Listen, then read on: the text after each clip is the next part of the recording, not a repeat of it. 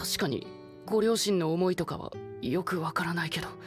でも黒瀬さんは俺と似てる気がするから。